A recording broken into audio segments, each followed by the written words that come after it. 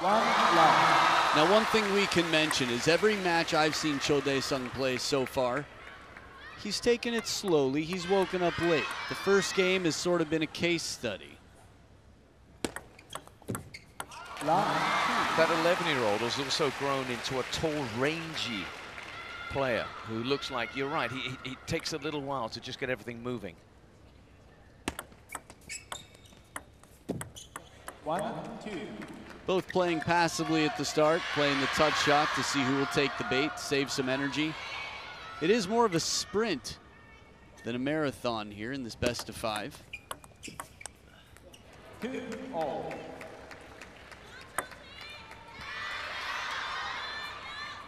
Short serves, touch play, the Chiquita there, coming just long. Look, this is just a kind of a, you know, give us your guesstimate. How often does a lefty play a lefty? And how much of a factor is that in terms of what they're used to hitting against? That's a great question. If I had to guess, I would guess 7 to 13% of the time. Hmm. Hmm. And it's it's just out of keeping with what the norm is in terms of what they're playing against. So yes, of course, they train specific to this. You know what? I'm going to raise it a little bit. I'm going to say 9 to 17%. Because in table tennis, there's an advantage to being left-handed. So at the top of the food chain, it's a little bit disproportionate.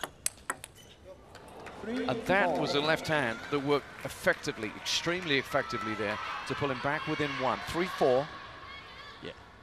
I think we're going to see it quite often. Five.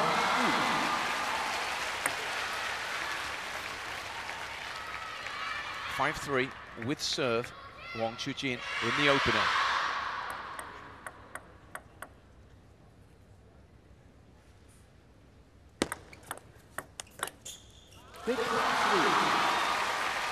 And he's bringing some pace and urgency to these early exchanges. If there is to be a slow start from Cho Daeseong, well, you know he's going to exploit it.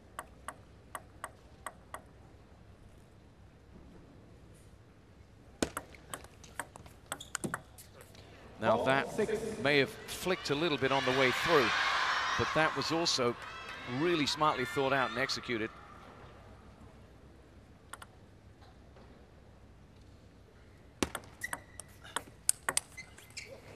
Five, six. It's 5-6 now.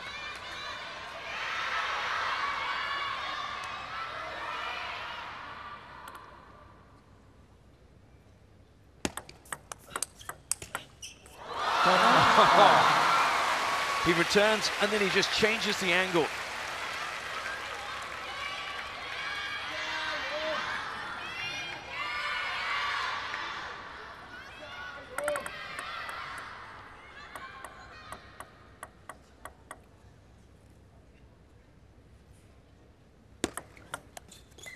Eight, five. 8-5 now, and this is beginning to look like a solid lead in this opener. Wang Chuqin, dynamism of his play, right off the bat, literally. Bet. Eight, five.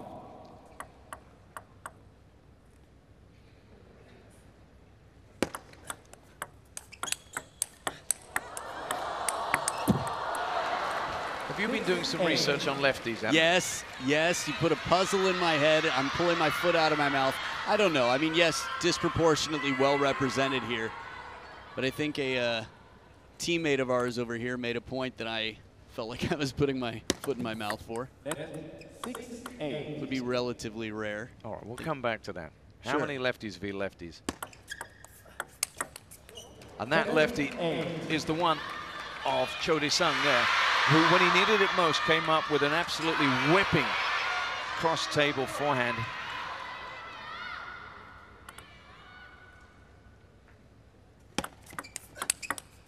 Eight, all. I couldn't see that. That was What? quick. That was very quick. Man, the power, the explosive power. Right from the start, Cho Daeseong. In the first match, it was game two. We saw these shots come out just tough to stop. Yeah, and a little flick there. Very smartly played from Wang Chuqin.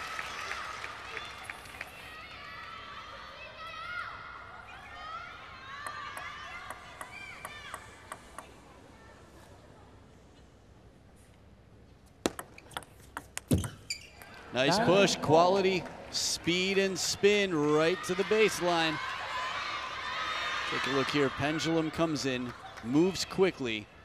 This is the thing about making a decision. They say it for business owners as well. Don't take too much time on your decisions. Quick decisions so you can get to work. That's what he's done here.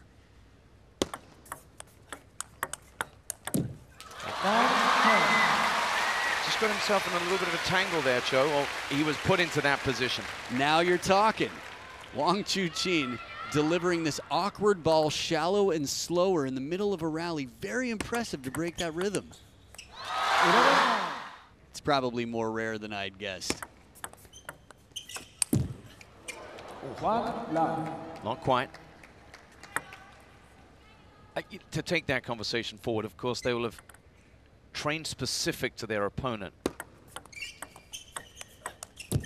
And does that mean that then they train against a, a hitting partner who's going to try and replicate the opponent's game? Does that does that happen? If you're for Team China, yes, more or less. Just to a greater degree. I mean, there are players who were assigned. Kong Linghui was Waldner. He was created. He was told, study his game, go play in Europe, play in Sweden, learn his game, and come back. We have a Waldner problem in China. and when you run this deep, I mean, this is the choice someone makes. Zhu Yuling. It's a beautiful shot here. Little bit of fortune. Just going to say, though, that some players can't come back to the game.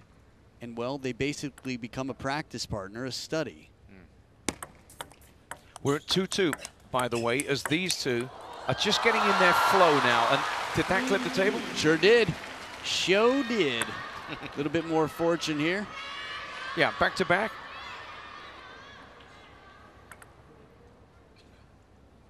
after that picture from 10 years ago.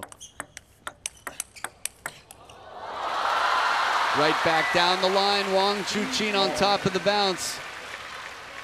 One thing that's made Wang Chuqin so incredibly dangerous, his trajectory. Every shot feels no mercy. It's not a loop.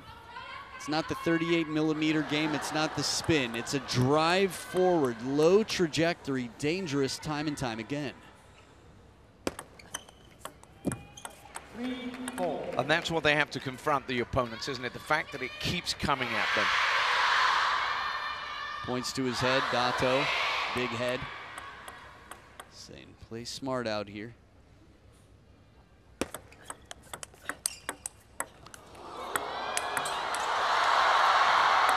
At the baseline.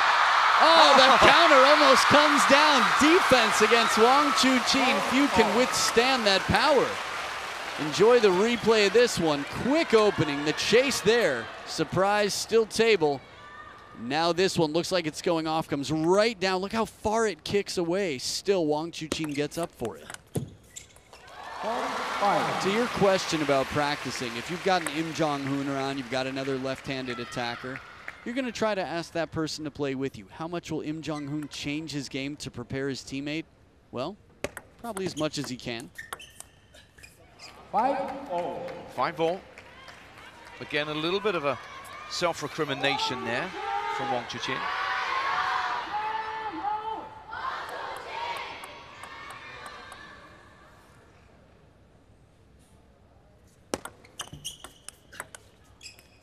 Six, five.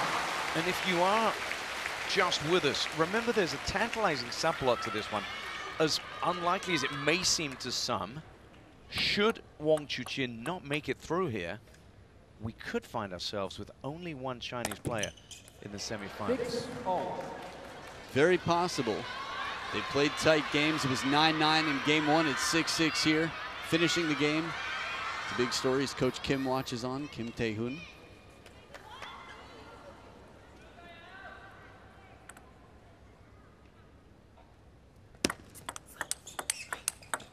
Oh, the angle on this one, it exits wide and out of reach. It is not easy to hit a ball that Wang Chuqin can't reach if he's not turning. He was in position and still the angle. Shallow side spin, quick timing. But he's back at you. that assault resumes. I'm going to ask you to step into my DeLorean for a minute. You remember game number one when we started? The rallies, the quality have changed completely. Yeah. Yeah, they weren't committing forward, were they? It was tentative. Oh, it's called. Thought we might have had a more interesting situation than we did just there. It seemed like it might have been contacted before it bounced on the table.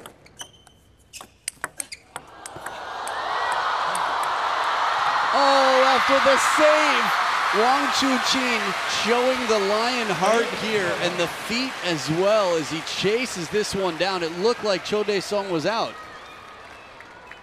This ball scoops it behind him and tries to guide it forward with a bit of topspin, just sort of fish it back into play.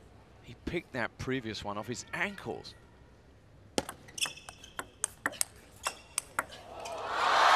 And now he goes the other way. And Wang Chuqin turns up the heat for 9-7. Right into that elbow, backs him off the table, forces him into somewhat of a lunging attempt on the backhand. Again, right into that elbow. We've seen Cho Daeseong have to move that leg back a few points in a row. Yeah, deja vu all over again. What happened in that first game? Suddenly, it just went against this man. Is it happening again? not yet, it isn't. Wow, when the grunts come out, it's a rare occasion that Wang Chuqin is blocked down. That's just the extra effort there. Two big shots with the racket behind the head and then a shorter stroke forehand. Look at that arm. Quadri Aruna style, but the post getting in the way as he goes for the short side. Hiya! But he still has two game points for a two-love lead.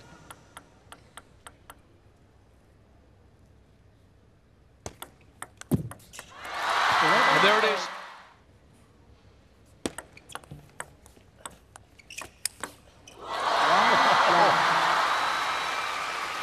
He meant that. Yep, don't think that was said in jest. A statement that is very loud and clear as he turns the corner and plays the line.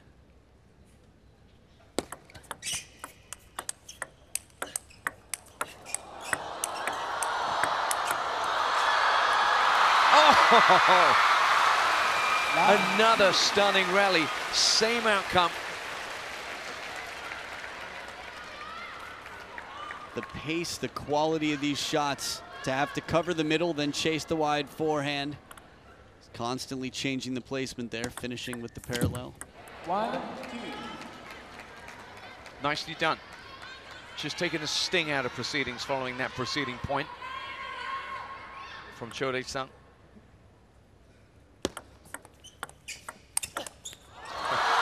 that was stinging though.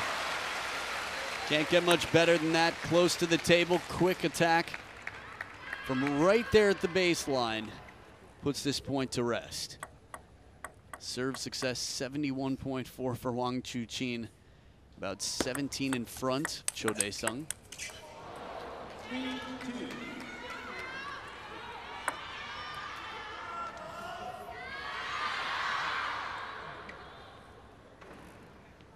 Looks down at the racket quickly after that. Again, humid region of the world.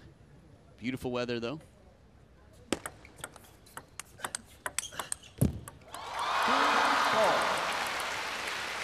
I will say they've gone out of their way to make sure the conditions are incredible. It's quite chilly in the hall, which is a nice thing. There's a lot of energy in here. It's packed. Could very easily get hot. And for the players, they want to make sure it's cool enough that the ball isn't slipping, especially when you are in a more humid region of the world. Yeah, for sure.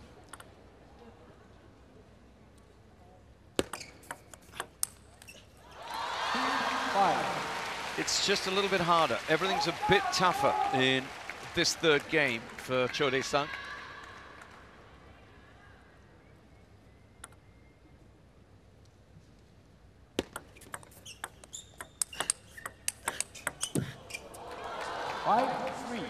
And he set such high standards. But he's little frustrated at that. Understandable. It feels like Cho Daeseong has to get that racket up so high to counter these.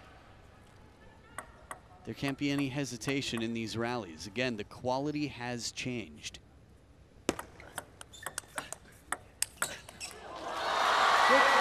Just a powerhouse. I mean, not just, but the way he's playing to stay close to the table against these shots, it's a good receive. He spins it deep to the backhand and gets a parallel rip back.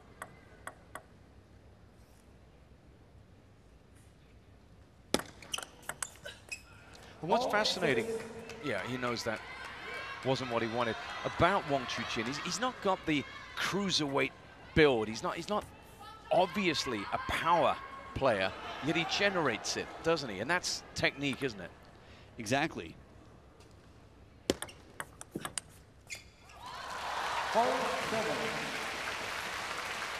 It's 4-7, and he needs to do something. He needs to do it fast. Cho Daeseong.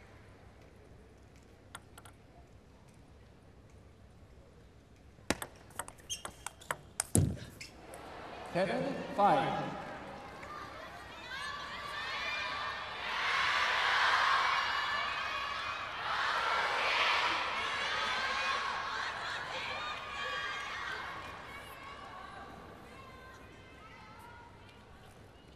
Just let the crowd do the commentary for a moment there.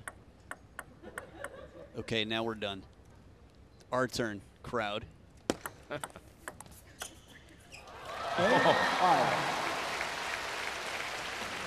Is that the length that's causing the problem there? Let's take another look here. Good depth on it, variation in rotation. Appeared to be fairly empty, so the ball doesn't stop up as much. Meaning there's less backspin. When there's more backspin, it slows the ball down, it bites a little bit. Constant variation. These players, almost everything done with intention. 6-8 he could do with these. There's one. Where's the crowd now? It's getting tight, crowd. Where the fries at?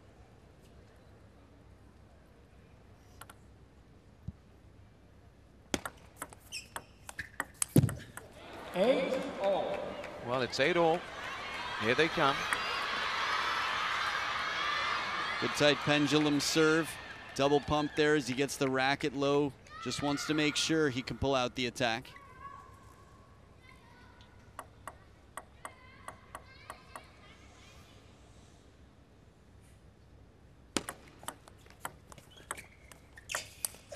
Smart placement. The hot potato game, the touch inside near the net. And he's done a great job of just getting himself back here and, in fact, getting his nose in front. Six of the last eight have gone for Cho here.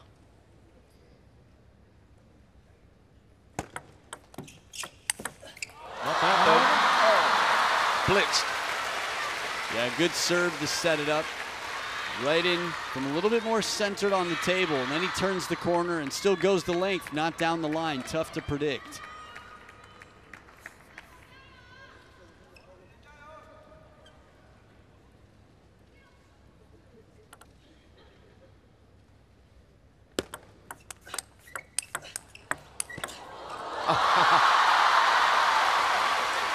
He recovers one incredibly well, Cho Daeseong, and has no chance with the next. Back at him before he could even blink.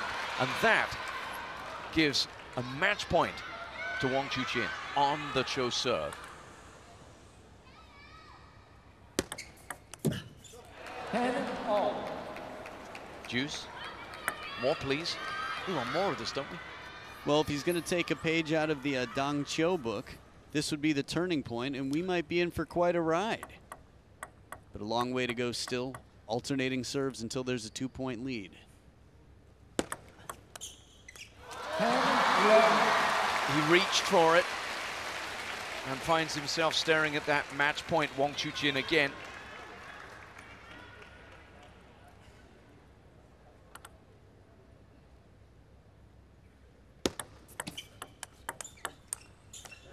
That goes long, and he's done this in straight games.